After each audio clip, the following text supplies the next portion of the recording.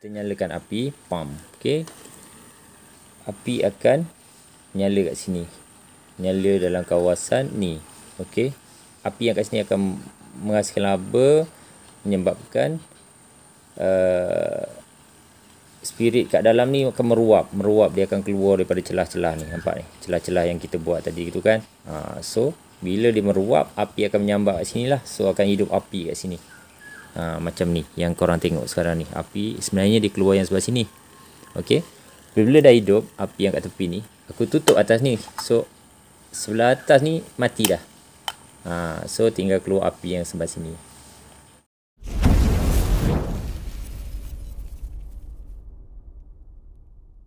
Assalamualaikum warahmatullahi wabarakatuh. Hari ni aku nak cerita sikit kat korang. Kira refresh balik lah refresh balik cerita dulu-dulu. Pergi memancing. Bawa Maggi. Bawa air. Okey. Bawa perkakasan. Okey. Bawa minyak spirit. Tapi aku punya dapur hilang. Missing. Aku tak tahu kat mana. Sekarang aku nak tunjukkan ke orang macam mana aku masak Maggi menggunakan simple dapur spirit menggunakan tin aluminium ni. Ha, betulan nasib baik bawa ni air. Kan? Kalau tak tak tahulah macam mana. Waktu tu dapurnya jadi macam ni. Ha. Aduh, aduh. Korang percaya tak? ni dapur.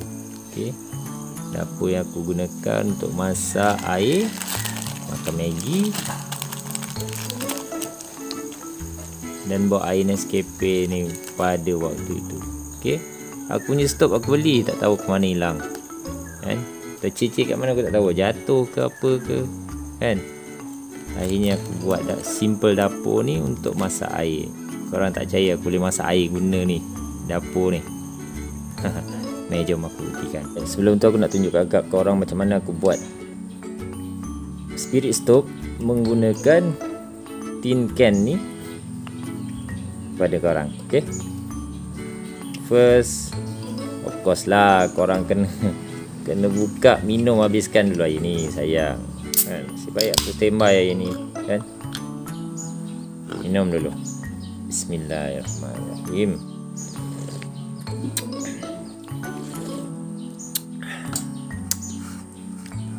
Korang kena habiskan dulu. Sayang kan nak bawa macam tu je kan ok bila dah habis eh, firstly aku lubangkan kat sini dulu. Ha, ni aku buang. Potong. Pergi mancing. Hmm, mesti bawa dua peralatan ni kan. Satu ni untuk buka mata kail yang tersangkut dekat ikan. Dan satu lagi gunting lah kalau terputus tali lah apa macam biasa lah. Pergi mancing kalau tak bawa dua ni memang tak sah lah kan. So peralatan yang gunakan ada dua ni je long nose plier dan gunting. Aku buang dulu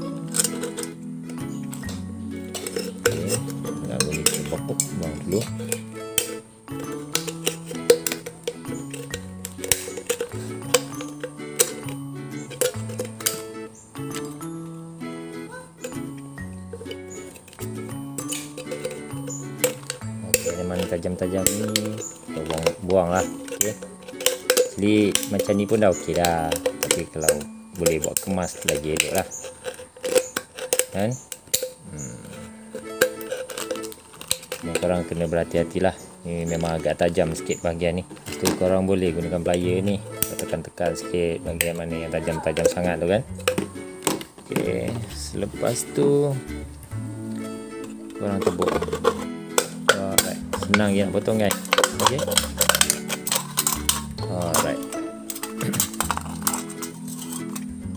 ok untuk takungan bawah biasalah lagi mancing. Mana dia bawa tip ukur lah apa bagai kan? So agak-agak je lah. Lebih kurang dalam seinci kan seinci ataupun seinci setengah saja. Korang agak-agak lah eh. Tuh tipis je benda ni kan? Ok korang agak-agak gunakan jari nak potong lah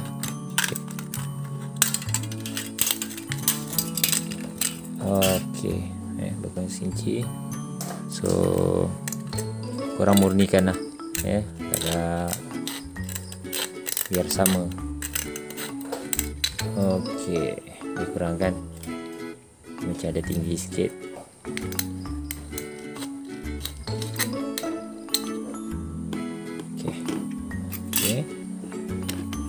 Bahagian atas ni pula, korang potong dia.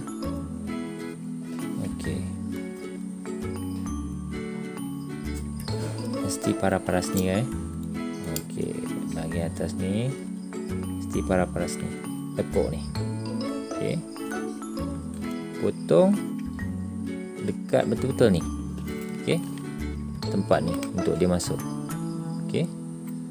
Ha, senang cerita tinggi dia tu pun lebih kurang seinci lah. Kurang dekat huruf I ni. Okey. Kalau korang tak nampak, aku agak-agak je. Cuma cing mana ada measuring measuring tool semua kan? Ok guys. Lebih kurang lah kan? Uh, ok nampak? Dengan boleh masuk. So kita murnikan sikit lah mana bahagian kawasan yang terlebih tu. Ok sekejap saja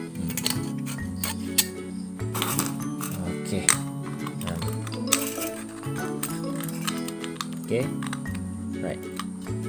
Eh? Sekarang ni aku buat 8 laluan untuk ada laluan macam udara keluar macam tu lah. So aku lekukkan lah sini. Aku buat lebih kurang dalam 16 laluan kot. Ha, macam tu ni satu. Untuk senang lah buat sini dulu buat sebelah sini sebelah sini sebelah sini ha, macam tu lah lebih kurang ok aku lekukkan sikit juga di sini. Paras-paras ni ya, eh. Okey, paras-paras dia punya uh, keluar tu. Alright. Ha, sini. Situ sini sini. Situ sini. Aku bagi-bagikan supaya mudah.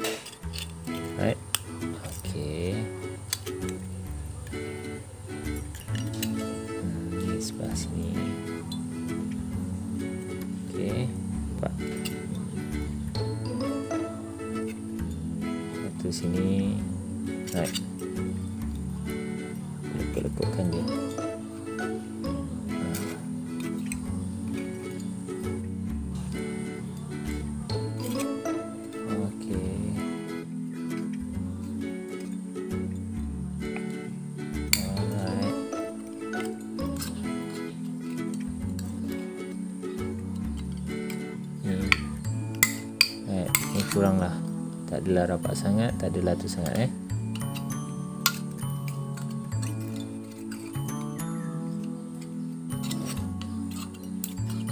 Ok ni kita boleh buat lah tambah lagi sikit. Laluan udara saja ok lepas tu kita saya potong sikit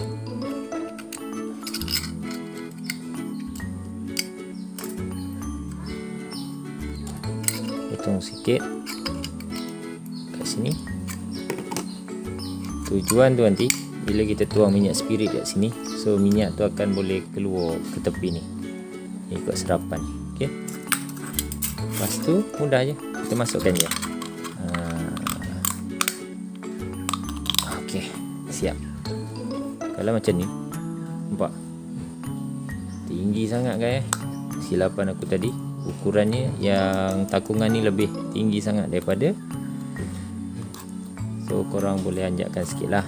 Tapi nanti bila korang letak dapur takut di ke bawah pula kan. So korang kena potong ni. Buang sikit lagi.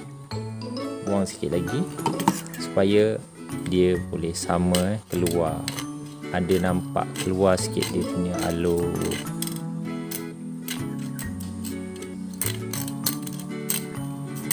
alur dapur spirit tadi tu. Alur udara tadi tu eh. Ha, ni aku buang sikit. So kita masukkan balik. Ok nampak? Ha, kita tekan ke bawah. So dia dia still ada lubang udara. Ok Aku tunjukkan kat korang. Nampak? Aku lekuk-lekukkan dia menggunakan plier long nose tadi tu. Dan aku potong sedikit bila masukkan ke dalam ni.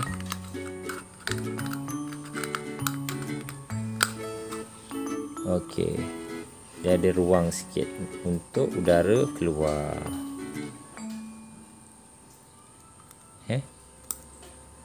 Ha, so maksudnya bila minyak diisi kat sini uh, spirit akan terbakar jugalah sebelah sini nanti. Okey. Uh, so jom kita cuba. Okey. So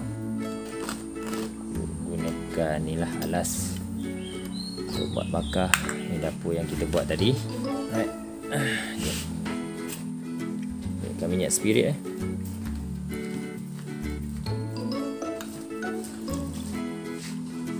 Okey, tuang sikit je. Ni kurang panas ni eh. Tuang minyak spirit tu.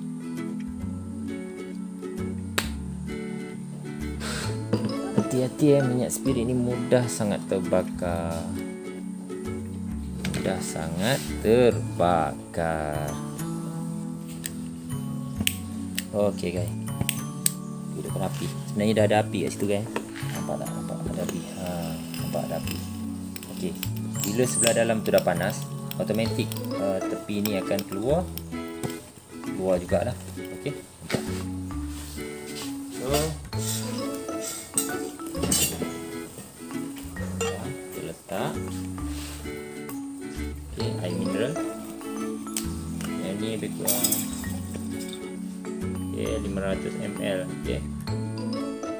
500 ml aku masak semua tuang tuang eh dalam tu okay. nampak nampak ha, nampak bakar eh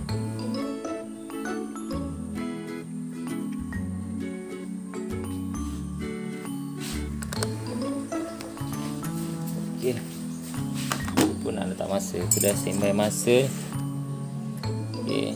Lebih kurang tadi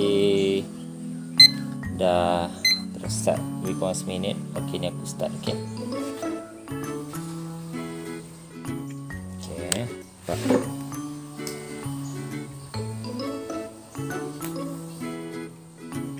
Air nampak dah mula nak mendidih. Okey. Nampak. Ni pun baru jalan lebih kurang dalam 2 minit lah kan air dah mula nak mendidih ok panas eh? Ok guys eh? Nampak? Air dah mendidih. Ok dah mula reda. Ok bertahan dalam lebih kurang 9 minit. Ok nampak? Ok dia dah mula mati sebahagian. Buat air sebahagian kita masak Maggi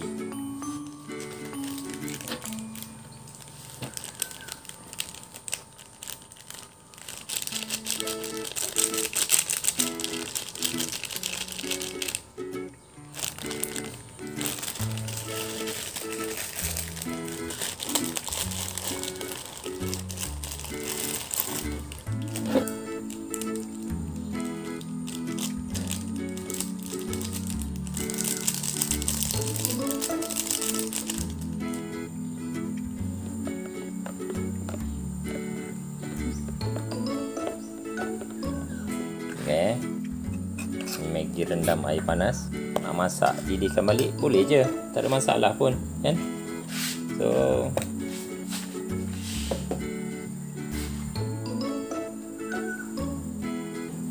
kita tuang sikit spirit. Jangan banyak-banyak, sikit je. Sudah terbanyak tu. Sudah silap mau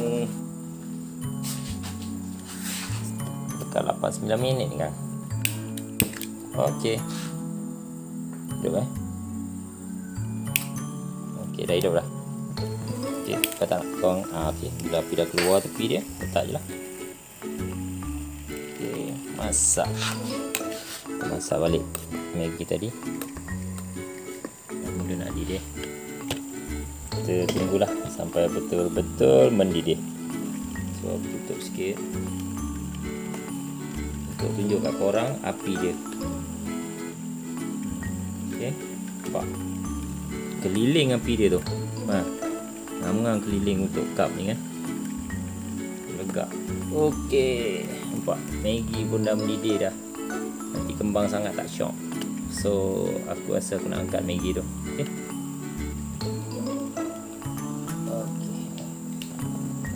siap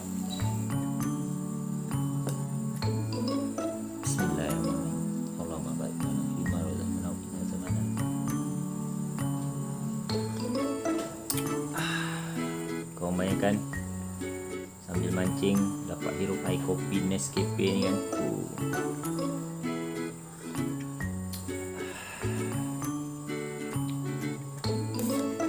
Lepas tu Layan lagi Maggi Kalau lapar.